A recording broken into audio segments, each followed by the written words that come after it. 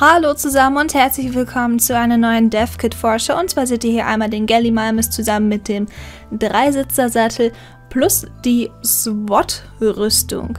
Sagt mir gerne, was ihr davon haltet. Ich finde den Gallimalmis eigentlich ganz gut gelungen. Also ich bin auf jeden Fall gespannt auf ihn. Und was die SWAT-Rüstung angeht, sie erinnert mich so ein bisschen an die Flak-Rüstung. Aber mal gucken, wie sie im Spiel aussieht. Und ja, das war's. Bis dann.